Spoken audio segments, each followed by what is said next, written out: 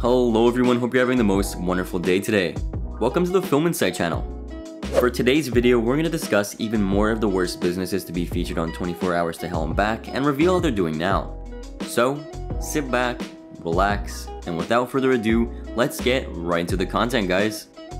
La Serenata Visiting the failing La Serenata in Los Angeles, California, Gordon Ramsay attempts to rescue it from closure. Owned by a mother named Aurora, she gave the managerial duties to her son Marco Sr. and he gave the chef's position to his son Marco Jr. Considering the fact that the restaurant was open in the mid 80s and hasn't been updated since, it's safe to say that it's quite outdated. However, since Aurora built the place from the ground up with her late husband, she doesn't want to let go of the past and isn't open to change. This causes a lot of clashes between the owner and her son, who wants to bring the restaurant to the modern times. Aside from the fact that the constant bickering creates a toxic atmosphere for the staff and patrons alike, the owner had to sell her home and her two other businesses to keep the place afloat. Being months away from closing down, the family decided to call out to Ramsay for some much needed help. Upon his eventual arrival, Ramsay disguises himself as a tourist and enters the restaurant with a busload of people. Ordering some staple Mexican dishes from the menu, they're only disgusted with what they receive, but are even more disturbed to see the waiter sweat right into their food as he serves them. Nasty. Having seen more than enough, the famous chef takes off his disguise, gathers the staff together, and shows them some damning footage he recorded. Not only are Aurora and Marco shown constantly arguing, but the kitchen staff was caught serving spoiled food to customers and carelessly cross-contaminating their cooking surfaces. Soon after, Ramsay holds a staff meeting to get a complete understanding of the issues at hand.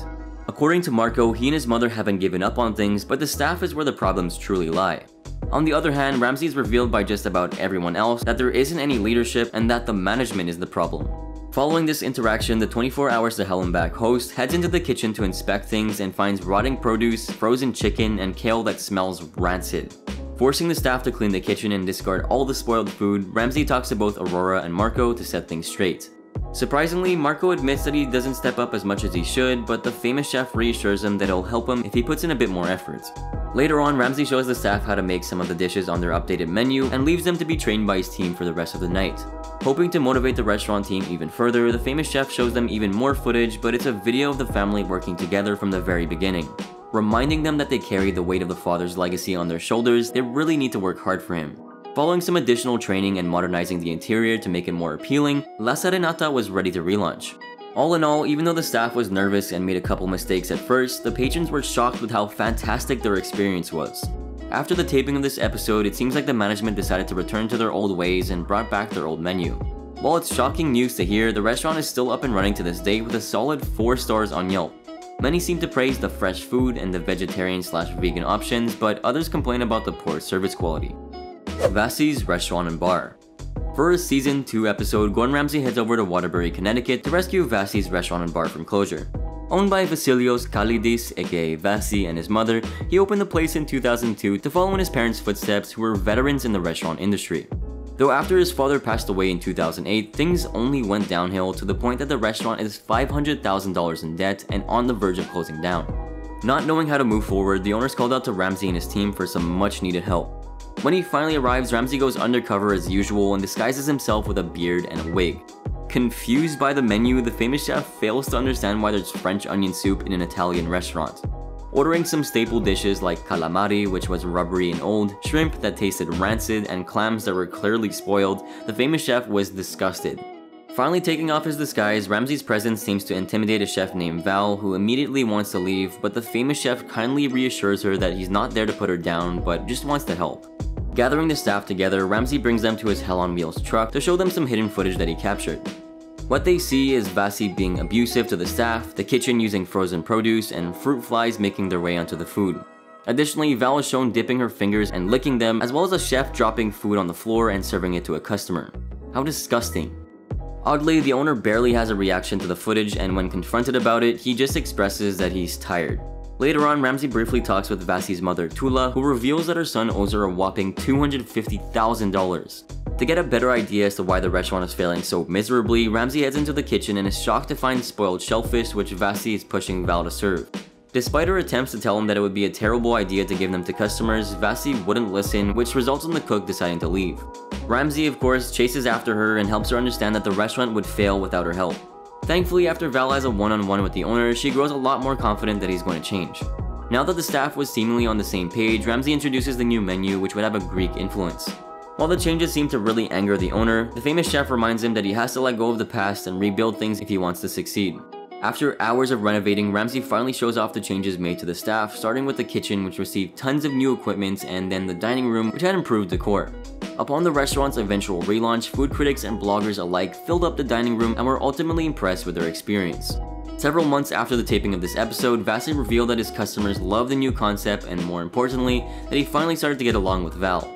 However, a while later, he decided to not only change the name to Vasi's Taverna, but also reverted back to the old menu, claiming that the customers demanded it. Regardless of the fact that their customer numbers peaked thanks to Ramsay's changes, he decided to reverse it anyway. In the end, the restaurant closed down in January of 2020 since the owner received an offer that he couldn't refuse, but that fell through. Since he thought the deal was assured, he let his entire staff go and was forced to keep the restaurant closed until he found another buyer. Brownstone Bistro in a season 1 episode, Ramsay heads over to Brownstone Bistro in Los Angeles, California to bring it back on its feet. Owned by a man named Clive Jackson, he decided to purchase the business 5 years prior to the taping of this episode, but has been struggling to get by. While the place was once booming with business, things quickly took a turn for the worse when Jackson lost his son. Feeling an overwhelming sense of sorrow, the restaurant's standards really deteriorated as a result. Unsure of how to recover, Jackson desperately calls out to Ramsay and his team for some guidance. Arriving in disguise, Ramsay enters with a group of local food critics and notices that there isn't a host to greet them and that the servers aren't smiling when serving guests. Ordering some staple dishes from the menu, the group is unimpressed with their meals and they all think the food tastes dreadful. Fed up with what he's seeing, Ramsay removes his disguise and directs the staff to his Hell on Wheels truck so he could show them the footage that he captured. What they're shown are clips of the staff goofing off while working and engaging in unsanitary practices while preparing food. Oddly, the general manager Nicole starts laughing while watching the staff do anything but their job, and when confronted by Ramsay about it, she gets defensive and rude. Heading back into the restaurant with the staff, the famous chef reads out some of the reviews, which include complaints about the food being cold, the staff being distracted, and there being terrible wait times. Ramsay then tells the staff that they need to show their commitment if they want him to help the restaurant, which results in the line cook Terrence deciding to quit. Later on, the 24 Hours to Hell and Back host heads into the kitchen to inspect things and finds bags of produce with no dates or organization. What's more, the food prep area is caked in dirt and the grill is covered in grease, which left the owner feeling embarrassed. Having a one-on-one -on -one soon after with the owner in his office, he reveals that he's grieving over the loss of his son, who was tragically shot. To make matters even worse, the pressure the restaurant put on his marriage was too great to the point that his wife left and took his daughter with her. Moved by his tragic story, Ramsay promises Clive that he's committed to bring back his passion for cooking and to restore his failing restaurant. After countless hours of renovating, training, and facilitating a reconciliation between Clive and his wife, Brownstone Bistro was given the second chance it needed. Months after the taping of this episode, the business's sales certainly increased and the customers were ecstatic with the changes made.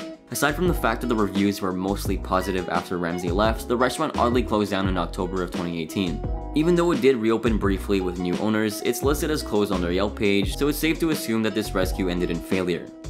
Well, that'll be all for today's video here on the channel. I do hope you enjoyed, and if you did, be sure to drop a massive like down below and comment your thoughts. Subscribe for more content like this and turn on those sweet bell notifications for instant access to our content. Have a good one guys.